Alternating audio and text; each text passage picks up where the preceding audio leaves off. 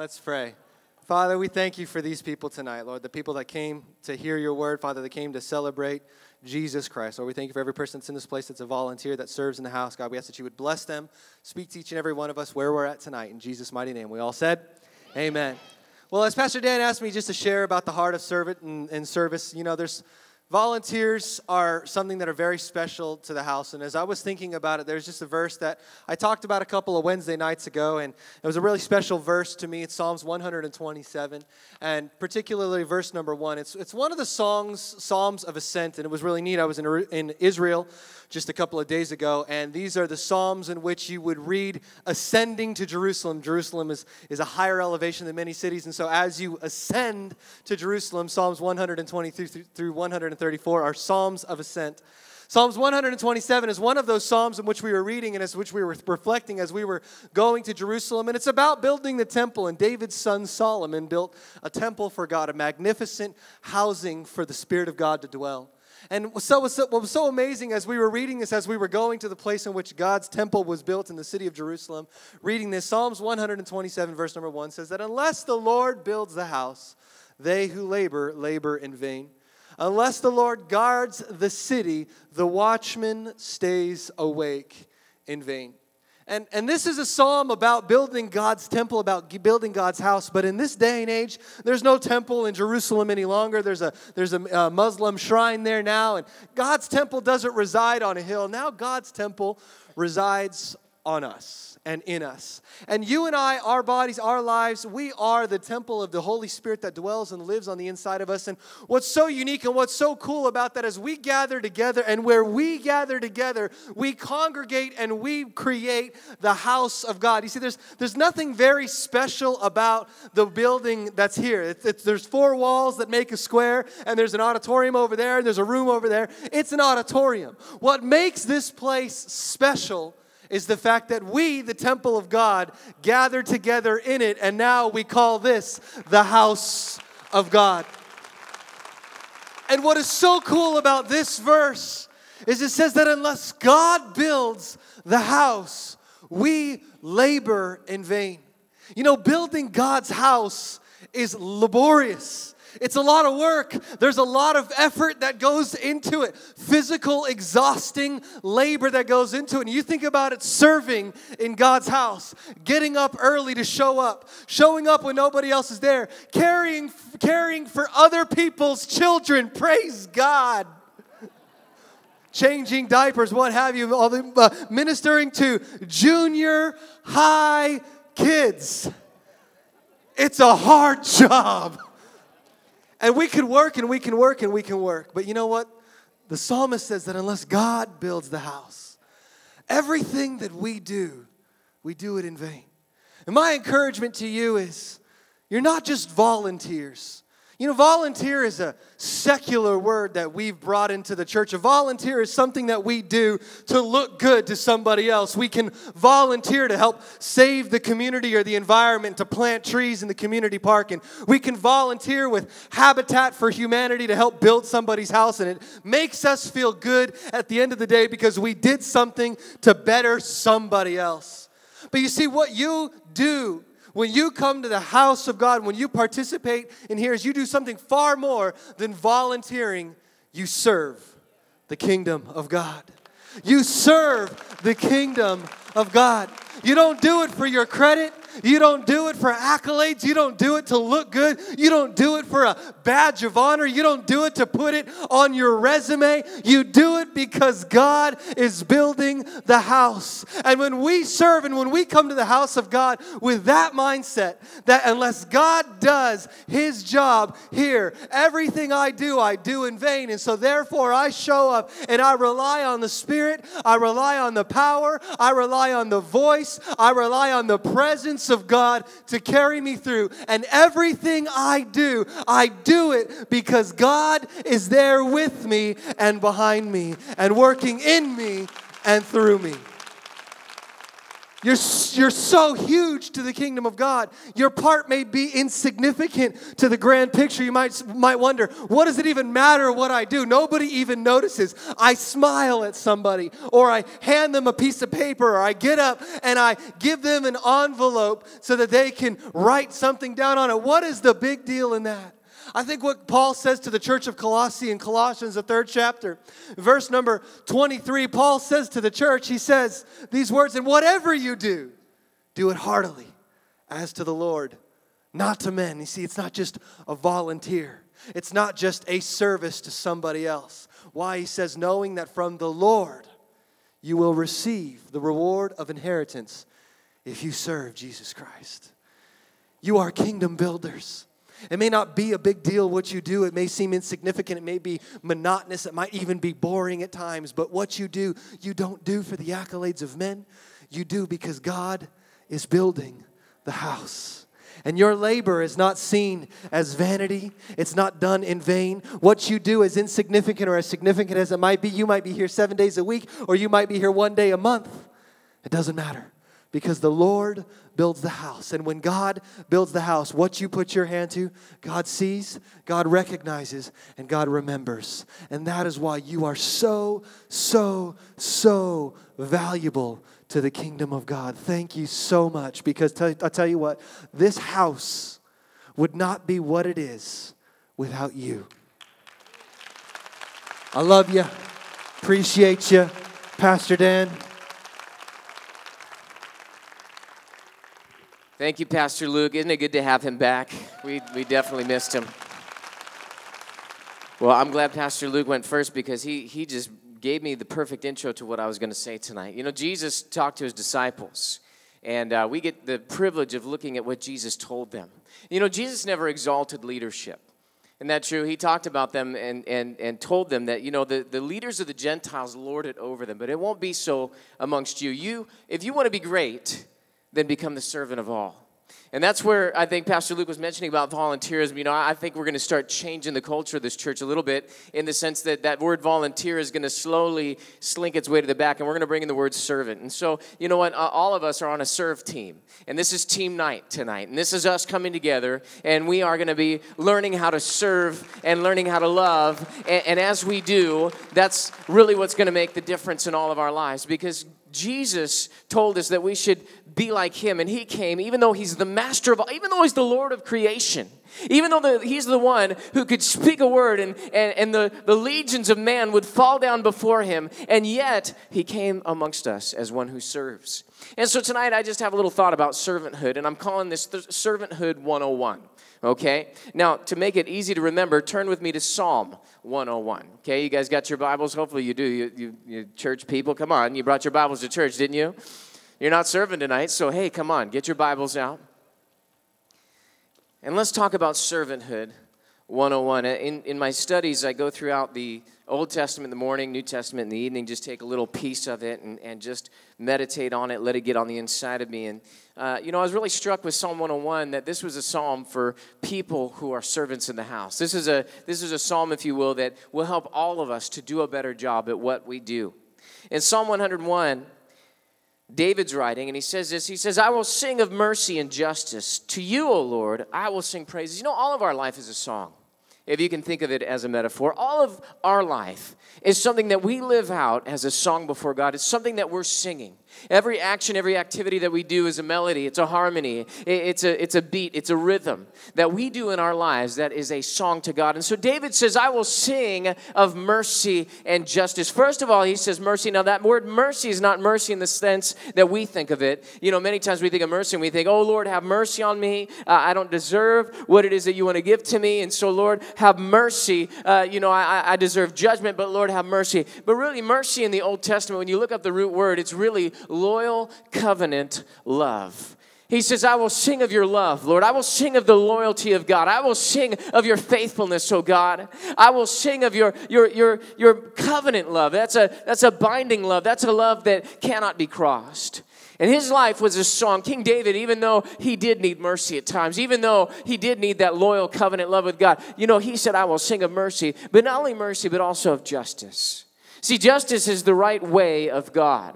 There are things that are just and right in God's eyes. And even though they may not be right to the world, that we should say, you know what, it doesn't matter if I think it's right, it doesn't matter if the world thinks that it's right. What matters is that God sees it as right. And so, God, I'm going to sing of your loyal covenant love and of your justice, your righteousness, your right way. Goes on, he says, I will behave wisely in a perfect way. Oh, when will you come to me? Look at the heart of David. When, God? I can't wait. God, when will you come to me? And that should be a heart's cry of every servant. Lord, I need you. God, I can't do this on my own. God, I need your love to show up. I need your mercy. I need your grace. I need your justice. I need to do this your way. God, when will you come to me? God, when will you come and be with me? Continues on and he says this He says, I will walk within my house with a perfect heart. See, all of our ministry, ministry, each and every one of you as you serve, it should flow from that place of mercy. It should flow from that place of loyal covenant love because God loves me and because I love him and because I am bound to him. I am his love servant. I am the one that is bound to God now. And everything that I do, I do it from a place of the love of God. That the love of God is going to me, but it's not only going to me. Now I'm going to be a channel. I'm going to be like a funnel open to God's love on the top and pouring out specifically into my area of ministry down here on the bottom and that all of our activities flow from that mercy and from that justice. And it's the beautiful song that God is writing in each and every, every one of our lives. Mercy comes first because mercy triumphs over judgment. You know, in our ministries, oftentimes there's going to be people that bug you. It's okay to say amen, all right? Unless they're sitting next to you, just sit there and be quiet. It's okay. But, but in our ministries, there's going to be people that bug us. There's going to be kids that maybe in the children's ministry that, you know, some of you adults, you say, man, they just cling to me. And, and I don't know what it is. It kind of bugs me. But it needs to come from a place of mercy because maybe that kid didn't have a dad. Maybe that kid didn't have a mom and they're clinging to you because they see that quality in you and they desire that. See, I will sing of mercy, Lord. I will extend the loyal covenant love of God. You know, uh, in, in our ministries, oftentimes here in a church, you know, this, this city is a throwaway city to the rest of the world. This city is a place that people look down on. That when you mention it, they, they associate it with a terrorist attack. And sometimes God brings people here that, you know, the rest of the world would, would cast out. They would kick them out. They'd say, you know what, you don't look nice, you don't smell nice, you need to stay out of here. You're not contributing anything, you're only taking. Get out of here. But listen, the mercy of God, as we look at people that the world says is unlovable, now all of a sudden the compassion of God comes on our lives. And as we see God bringing those people to the food lines, as we see as God brings the people into our church services, and you're the first one there to extend your hand of love and say, Welcome. I am so glad that you came today. We are the channels of God's love. We will sing of His mercy, but also of His justice. See, there's a way that we need to do things, and that doesn't mean that you skimp on the rules or any of that kind of stuff. There are certain things that we do that we have to do. We need to make sure to maintain everything decently and in order in this church. Today, I, I heard of a, a couple that came into our church for the very first time, said before they hit their seat, they were welcomed 11 times in this church and felt so comfortable and so, felt so loved. That's, that's you guys extending the mercy of God and singing a beautiful song. See, mercy is the path, and God will bring the justice. He'll get people around to His way. And, and, as we flow in that, it becomes something that God takes and He uses to make something beautiful. See, if we cast away those who frustrate us and don't pour into them, where would we all be? Listen, some of you guys showed up to this church and you were that throwaway. You were that person that somebody said, Get out of here. We don't want you here. Heard of a woman who went to nine different churches and was cast out of all of them before she landed here at the Rock Church and World Outreach Center. And finally, she found a home. See, this is a place where some of us were the throwaway people that God saw fit to bring them to Himself, to build us up. And now He's equipped us and released us into ministry. See, otherwise, we'll end up with the us and them mentality. Is that right? See, it would just be like, well, we're so good, we're so great, we're so wonderful, and you guys over there, you can sit at my feet, right? You can learn from me, all that. No, listen, we're all in this together. We're all on a journey together. We're all walking the road. See, business sense is not God's sense. Let me say that again. Business sense is not God's sense. We do not run this church like a business. We run this church like a theocracy. What does that mean? That means that God is the head. Yeah, that's what, what happens when you hear us say Jesus Christ is the real senior pastor of the church. See, we run this place listening to heaven, listening to the direction of God, and as we get his direction and his wisdom, then we start to do things. Doesn't make business sense to give people free food. Doesn't make business sense to not charge for rides to church. Doesn't make business sense for us to send money to bless the nations. See, it doesn't make business sense what we do, but we are not a business. We are the church of the Almighty God, loving people, and God will take care of the financial needs and the needs on the back end. See, conventional wisdom even is not the wisdom of God. Sometimes we say we just got to have some common sense. I am in love with common sense. I wish everybody had some common sense, right? Because not everybody does. And yet, common sense being not so common, in the same token, sometimes God's sense is not so common either. And in your ministries, you need to have your ear God, what is it that you want me to do? Oh Lord, where's the mercy of God in this? Where's the love of God in this? God, is this your justice coming through? What is the right way for me to do this? See, in your ministries, you need to be open to what the Spirit is speaking so that you can be led. And it may not line up with common sense, but it may be the wisdom of God for your life. So he says, I'll behave wisely in a perfect way. Oh, when will you come to me? I'll walk within my house with a, with a perfect heart. Now, this is where the rubber meets the road because it's one thing to come here at the Rock Church World Outreach Center and serve in a ministry. One thing to be amongst the, the people of God and to, man, do you just have a good time putting your hand to something and doing something? But don't let your ministry be a veil for the problems that are in your heart. Because look at what he says. He says, I'll walk perfectly and, and I'll walk within my house with a perfect heart. See, when you go home, that's where the real you comes out, isn't it? And see, integrity and character is who you are regardless of your circumstances and your surroundings. Let me say it again. Integrity and character is who you are, regardless of your circumstances and your surroundings. See, who you are at home is the real you. And as servant leaders in this house, as the servants of God here, I would hope that when you go home, your spouses, your children, your friends, the people that see you when you let your hair down, or when you wake up and you don't have your makeup, come on, somebody, that they would say that's the same person that just woke up next to me that's going to work with me in the house of the Lord. That's the same person, see? And we, we need to watch ourselves. In the New Living Translation, King David says, I will be careful to live a blameless life, and I will lead a life of integrity in my own home.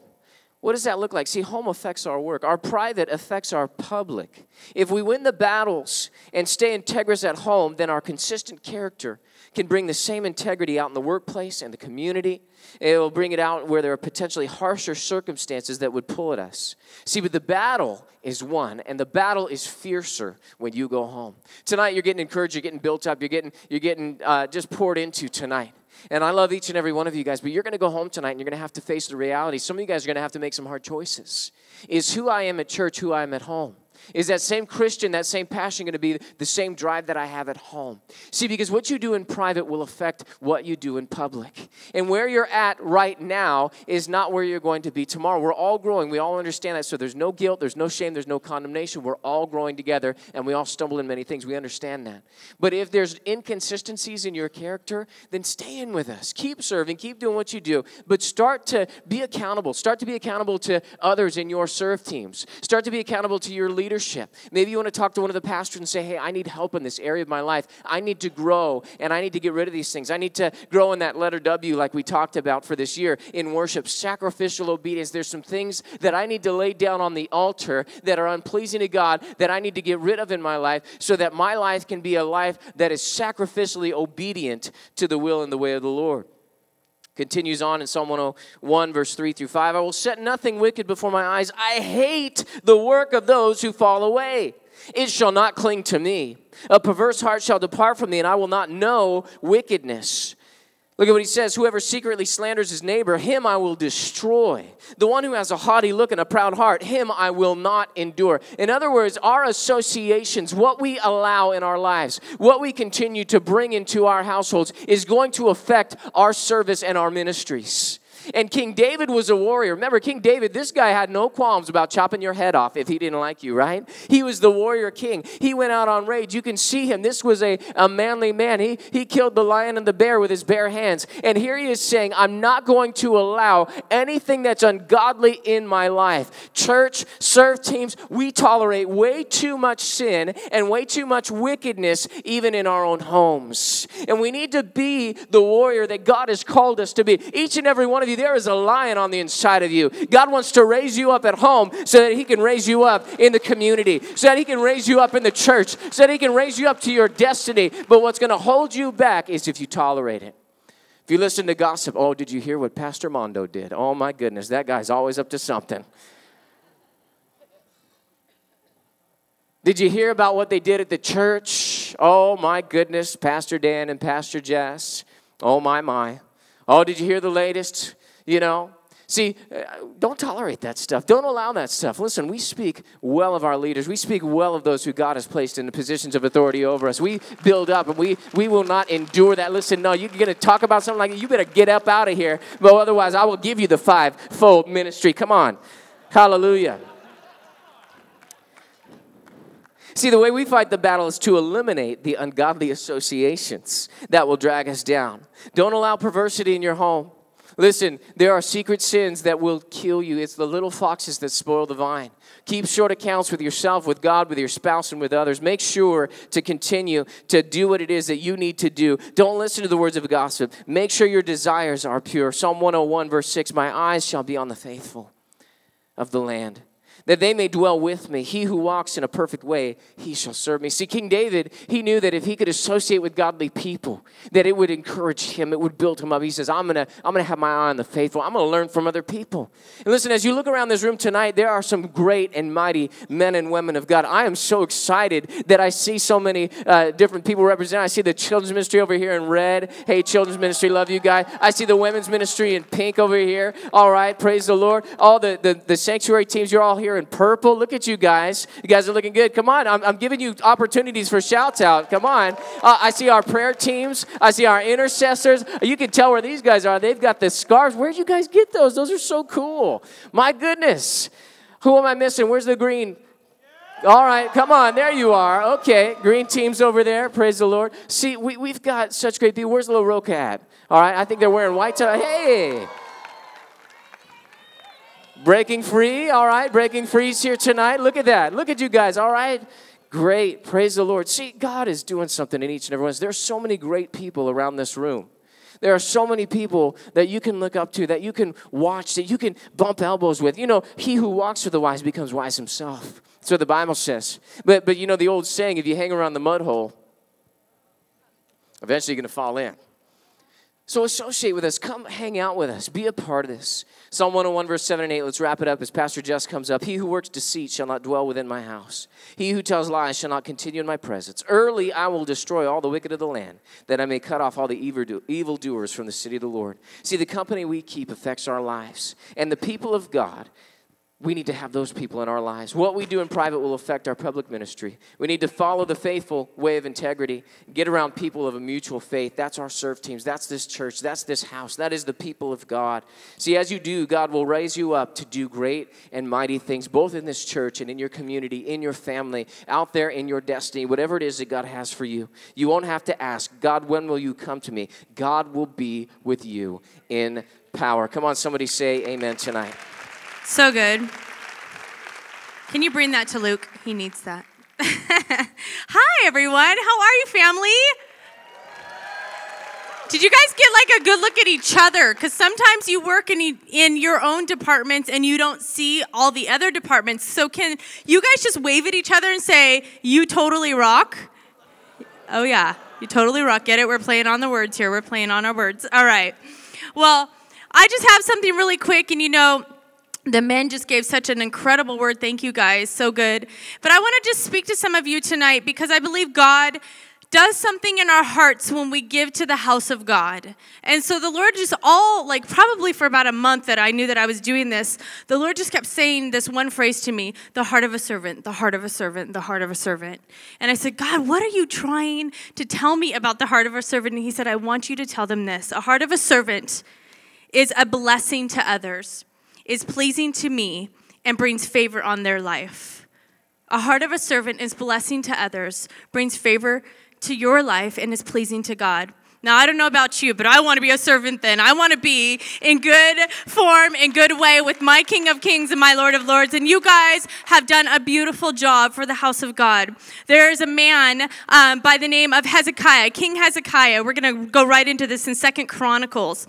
The story goes like this there, The temple has been um, totally taken over. There's idols. They're just doing their own thing. They're not serving God. And, and during Hezekiah's reign, he decides that he is going to wipe out all the idols. He's going to take back the temple. They're going to rebuild. They're going to do everything they can to put things back in place that it should be. Now, that looks like a lot of work, right? Well, Hezekiah could not do this on his own. He gathered people, and the church came together, and everybody brought their tithes and their offerings. Everybody brought their hands and their service. The carpenters came, and everybody came and did their piece to put the temple back into place the way it should be. That's like you and I. Listen, I could not do this on my own. I thank God for my girls that helped me out in Women Rock. Where are you at, girls?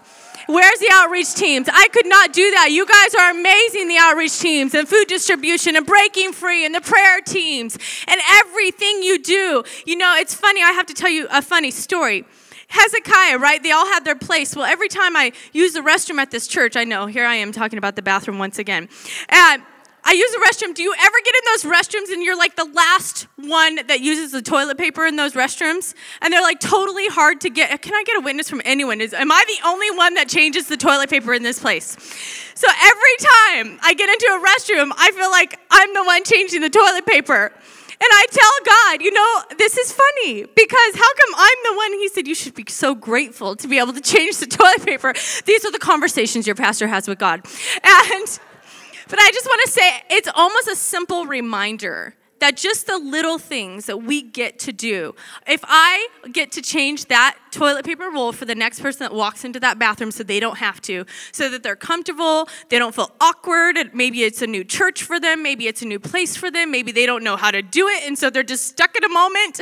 However, I can make that moment better for them it is my pleasure to do that for the kingdom. And so, listen, guys, that's what you do. You do that. You do. We all together do our piece and our part around here. I know that's a funny and cheesy story, but they all were doing their part and their piece. And it pleased God. And this is what God said about Hezekiah in Second Chronicles 31 20. It says, In this way, King Hezekiah handled the distribution throughout all of Judah. And doing this was pleasing to God and good in the sight of the Lord. Ooh, I want God to look down on us at the Rock Church and go, Ooh, I have pleasure on them. Uh, they are good in my sight. You see, there's favor upon us because we serve his house. See, the local church is not my idea. The local church is not Pastor Dan's idea because we need a job. No, that is not how this works. It is a God idea that we said, Sure, God, we are willing, we're able, we're called, we'll do what you ask to do. And then you guys came along and God said, Good, then I'm going to build a team. And you guys are the team players, you guys are the servants, just like Hezekiah had his team and they were rebuilding the temple and putting it all back together. You are building this house in San Bernardino where people do not want to go. But you know what? I believe God wants to be here and He's with us every service, every time we put effort in, every time we pray our prayers, every time we do something. God said that it was pleasing and good in the sight of his of God. Verse 21. And it says, in all that he did in the service of the temple of God and in his efforts to follow, I love that, God's laws and commands, Hezekiah sought his God wholeheartedly. Listen, guys, when we serve in the house of God, it's our way of saying, I'm coming after you, God. Because, God, you gave me something and I would be foolish to just sit on it and do nothing with it. Some of you have gifts and talents. Some of you wonder why you talk a lot. Well, you know what? Maybe you are just called to pray a lot. And there's nothing wrong with that. That's a beautiful thing. Maybe some of you play instruments or you sing. All of you, God has given you those things not for yourself but for the betterment of other people, to serve his house, to build the kingdom of God here on earth so that more people can come to know his name and so we can make his name famous throughout all the world so that he can come. Oh, come, Lord God, so that we can make his name famous in our land. And so that's what Hezekiah's people did. And God said that Hezekiah sought his God wholeheartedly. As a result, he was very successful. I believe, Rock Church, we are very successful in our giving. But I want to say to you, you know, grow. The first one is giving but the other one is relationships. You guys look at each other. These are relationships worth giving into, worth getting to know, worth being a part of. You guys are a family that maybe you don't even know each other. So tonight afterwards, we're gonna have donuts and stuff for you. Hang out a little bit. Go introduce yourself. Say, hi, my name is. What do you do in your ministry? What is it that God asked you to do? Because I believe that each and every one of you have a sole purpose and it's very pleasing to God. But just to have a relationship isn't enough. We are in this we are all in this together for one reason to bless other people. And I believe that you have a voice. I believe that whatever you put your hand to, God will bless it. He will encourage it. He will pour favor upon it. And I love this verse in Romans. I was looking so many verses up. I had to trim it down because I realized I was sharing the platform. So I cut them all down. Romans 12, 13 says in the New Living Translation, when God's people are in need, I love this, be ready to help them. Always eager to practice hospitality. What a beautiful thing. I want to be hospitable to those that come. Because if you ever, do you remember being in high school and everybody had their groups? It was totally awkward, and, and you know, you walk in and you're like, where do I sit at the lunch table? I mean, they still make movies about it. My kids are about to go to junior high, and I'm just like, oh no, oh, I'm scared for you. Because it is a whole new world, right? Well, it feels the same way when you go to a new church. And so, for people that walk into our churches, we want them to feel comfortable. We want them to feel safe. We want them to know that they're loved. We want them to feel like, oh, we don't have our clique, but you know what? You can be a part of this house because this house is awesome. God loves you, and we're excited you're here. We prayed you in, and this is a divine appointment. See, God has something for, for them. You are here a beautiful servant's heart to be a blessing to others, and you guys have done that so well. So, can I just say thank you, thank you, thank you? And the last part of this is it brings favor on your life. Did you know that? I know we don't give to get. That's never any of our intention, right? But I believe God does it anyways. It's like when you have children, I have little kids, and, and when my kids are wonderful, guess what I want to do? I want to rain blessing on them. When they're good, I'm like, yeah, you can have an extra piece of candy. You know, when they're bad, I'm like, you get nothing. Like, you, I will provide you a bed and a room, but that is it. But when you are good, I will give you it all. If you want to go to the movies, what do you want to do for your birthday? Because we are going to spend all our money, you know, like that's what I believe God is like. God loves us. And when we do awesome things for the kingdom of God, guess what God does for us? Awesome things for us. And God is not a respecter of persons. It's not just for Pastor Dan or Pastor Luke. It's not just for those that have been here longer. Maybe you've just started becoming a volunteer. Well, watch God rain out on you. Watch God pour a blessing on you because that's the heart of God. God loves a cheerful giver. God loves those that give of themselves. In Second Corinthians, it says, in, chapter 9, verse 8 through 11 in the New English Translation. And God is able to make all grace overflow to you, so that because you have enough of everything in every way at all times, I don't know about you, but all right, uh, more than enough in everything in every way, that's a lot, right? You will overflow in every good work. These are amazing promises. You might be sitting there going, well, I don't really feel like that. Well, you know what? How about we start getting ourselves back in faith again and stir ourselves up and say, I'm here to serve God, and God, I'm going to give it all, and you would just pour out a blessing on my home, on my finances, on my children. See, when you're faithful to God, He's faithful to you. And then it goes on in verse 9 just as it is written, He has scattered widely and He has given to the poor. His righteousness remains forever. Verse 10 Now God, who provides seed for the sower and bread for food, will provide and multiply and supply of seed and will cause the harvest of your righteousness to grow. I don't know about you, but how many of us need blessings on our homes? We need the righteousness of God to overpour and to flow out of us in every word and every deed and everything that happens in our lives. You're believing for those children to serve God all the days of their life, well, you know, you got a whole family here believing with you, and we're going to cheer your kids into heaven. And you know what? If they're going off the right path or wrong path, we will stand in the gap with you as a family. And you are not alone in this because God's righteousness will reign on your home, and that's a promise that He has given you. So do not let the enemy take ground.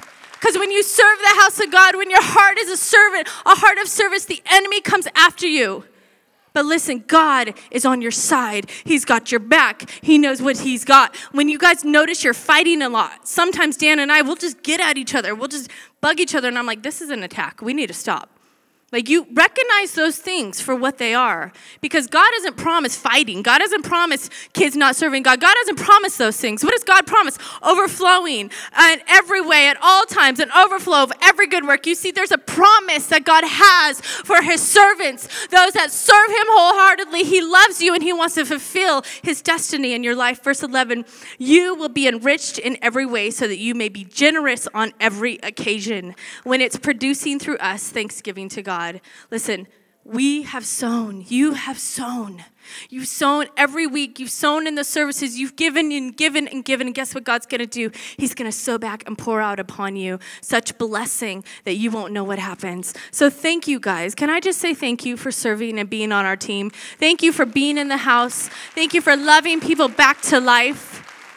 Thank you for caring for the Inland Empire.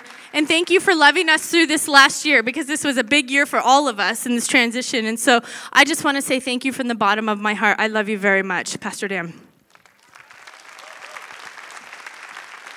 So good, so good. It's awesome.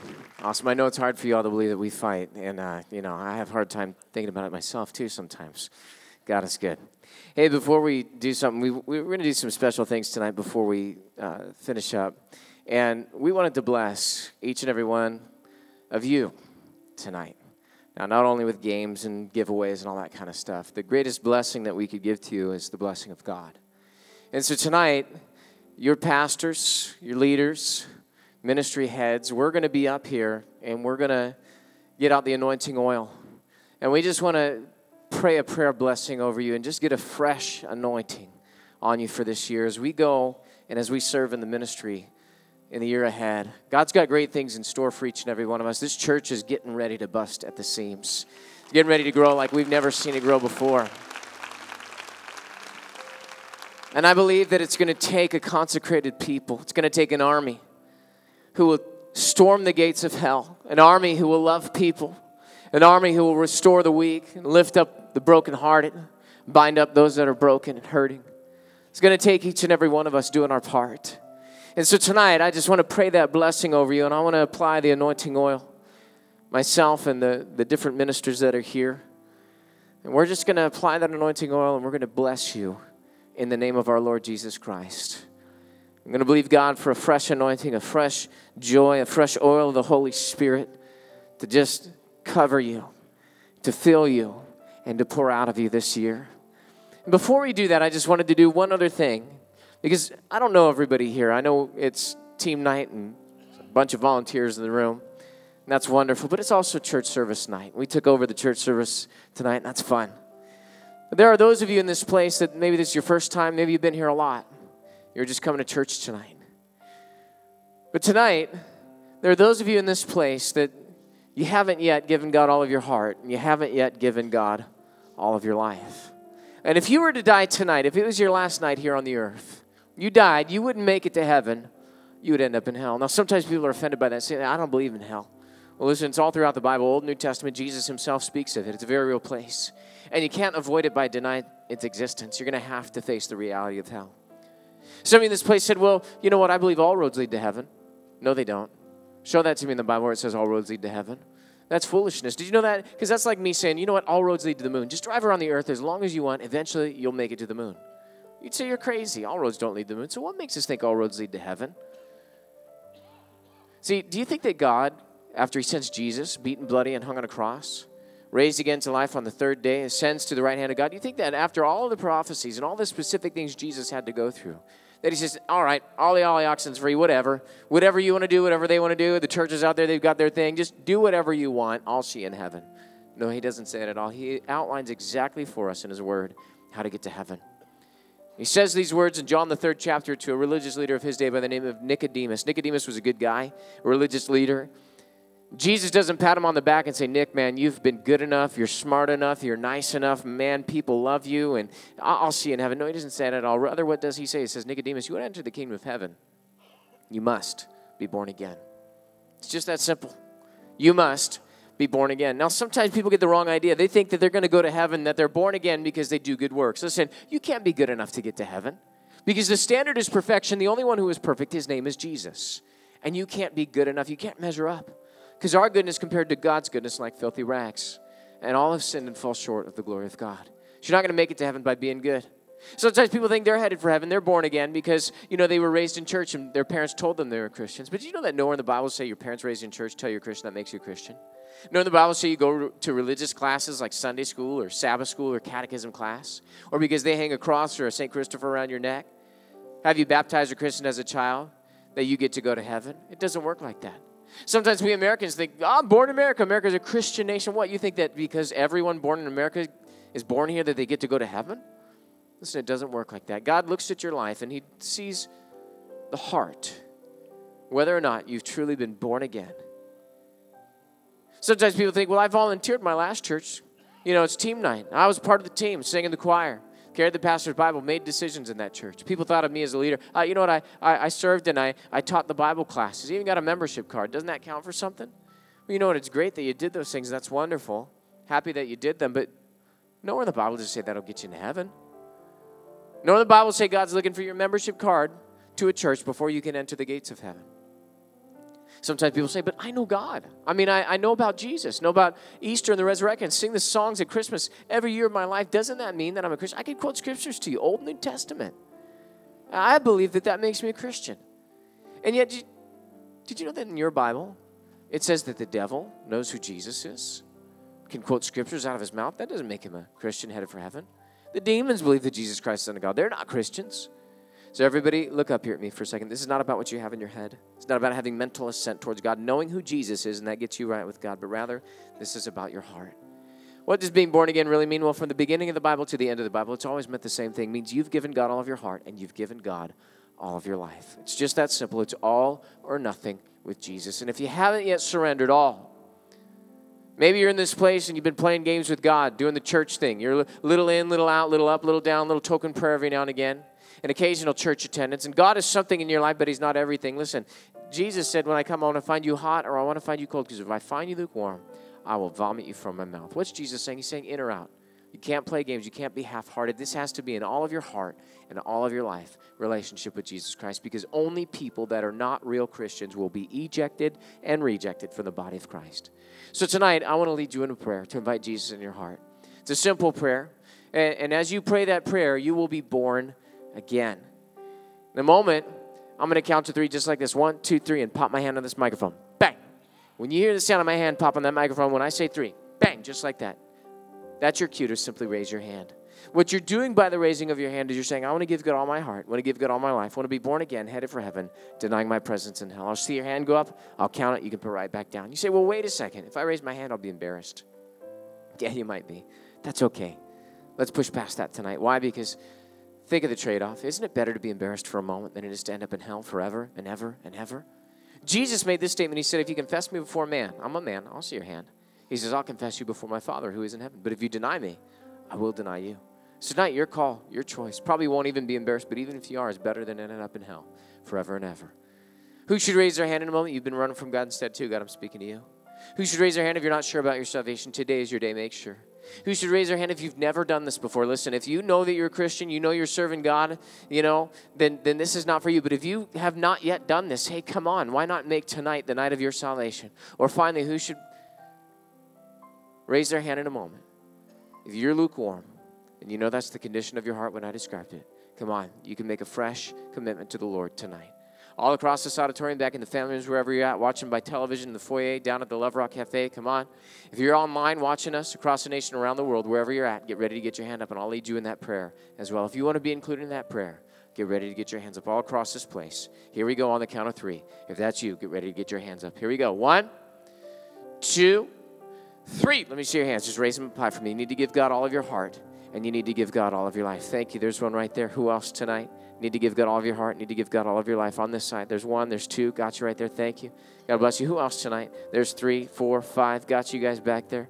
Anybody else, real quick tonight, that I did not already see? You want to be included in that prayer tonight, giving God all of your heart and giving God all of your life. Is there anybody else? Thank you. Right there. Got you. Number six. Thank you. Who else tonight? Anybody else, real quick? I'm about ready to count one of those wavy things that they have. I don't even know what those things are called, but they're waving them back there. All right, I'll count you. You'll be like, I don't know how I got to heaven. Anybody else, real quick? Real quick, that you, you didn't raise your hand. Listen, I didn't embarrass them. I won't embarrass you. Anybody else? I want to pray with you. Lead you in that prayer to invite Jesus in your heart. Anybody else? There's about five or six wise people. If that's you, if you didn't yet raise your hand, come on. God's tugging at your heart. Would you just respond to him tonight? Anybody else, real quick? I know we got a lot of Christians in the place. A lot of our serve teams are here. Is there anybody else that I did not see? You know, you need to give God all your heart and all of your life. Just want to make one more sweep, and then we're going to pray together. All right? Anybody else? Anybody else? All right, let's give the Lord a good big praise tonight. About five or six wise people. Okay, here's what we're going to do. Those of you that raised your hand, or if you should have raised your hand but you didn't, okay? Or if your children raise their hand, that's good. This is for them too, okay? So even if you're back in the families, your children raise their hand, I didn't see them. I want you to get a hold of your coat, purse, sweater, Bible, a friend if you need a friend. Once you get in the aisle and meet me up front, because we're going to lead you in that prayer tonight, okay? We're going to change destinies, but we can't do that till we get you down here. So let's all stand and let's welcome them. If you raised your hand or you should have raised your hand, come on down to the front right now. Come on down. This is your time. Let's give them a hand as they come. Jesus, I believe in you. Jesus, I belong. Come on, they're coming. Let's give them a hand as they come. You can come To too. you, you're the reason that I live. You're the reason that I breathe. Hallelujah. They're coming. Jesus, I believe in you. Jesus, I belong. All right, come on. You can come too. This is your time. This is your moment of salvation. Anybody else? Even if you didn't raise your hand, come on. Right now, this is your time. This is your moment. We're going to pray together. Come on down. Jesus, I believe All right, hey, you guys up front, put a big smile on your face, okay? This is the best decision of your entire life. Hi, sweetie. Man, she's excited. That's awesome. That's awesome. Best decision of your life right here, right now. I'm going to lead you in that prayer, okay? Everybody else is going to join in with you and encourage you, okay? Also, those of you that are joining us online, if you're watching via the live stream, you want to pray this prayer right now. You can put your heart on the Lord and you can be born again right where you're at, okay? Now, listen, this is not about the words of your mouth. This is about the attitude of your heart right now. So let's all put our hearts on the Lord. I want you to bow your heads, close your eyes, and say these words out loud if you have the ability. Say, Father God, I come to you now in Jesus' name. I believe that Jesus Christ is the Son of God, that He came, that He died, and He was raised again to life just for me. I confess Him now as my Lord and as my Savior. Come into my heart, forgive me my sin, wash me with your blood, and cleanse me of my past. Give me a brand new future with you, Lord Jesus. Fill me now with your Holy Spirit. And let it be known that from this day on, I am a Christian. I'm saved. I'm headed for heaven, denying my presence in hell. Thank you, Jesus. Amen. Come on, let's give the Lord a great big praise. Hallelujah. Welcome to the family of God. So excited for you guys. Now, listen, there are a bunch of people behind you who are friends here. There's a ton of them. We had the staff that was supposed to be the SPTs tonight, okay? And all the SPTs showed up since it's team night, but they're not here to beat you up or anything like that. So take a deep breath, okay? It's all good. They're here to love you. We want to give you some free stuff, okay? We want to talk to you about a program we have called Spiritual Personal Trainers. Just someone in church, friendly person who will sit with you for five weeks, teach you five things out of the Bible, help you get strong in the ways of the Lord so you don't go back to your old way. You go on with the new way with God, okay? So this is Pastor Joel right over here waving at you, okay? Pastor Joel just wants to take you right over there, get that information in your hands, okay? Talk to you about that, and then he'll let you come right back out, okay? Your friends and family will wait for you, and if you guys want to get prayed for with that anointing like we talked about, we'll anoint you too tonight and pray the blessings of God over your life as well. So if you guys just make a left turn, follow Pastor Joel for a couple of minutes. Let's give him a hand as they go.